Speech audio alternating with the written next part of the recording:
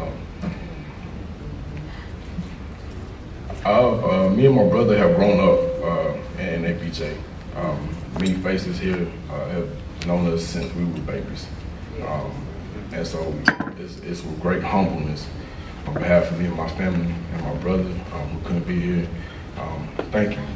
Um, and it's great that the fact that two of our loves are in the same place. Um, of course, me, her one of her sons the oldest, and in APJ. And um, I just want to say thank you, and um, just continue on with her legacy that she has left. And um, you know, thanks again. All right.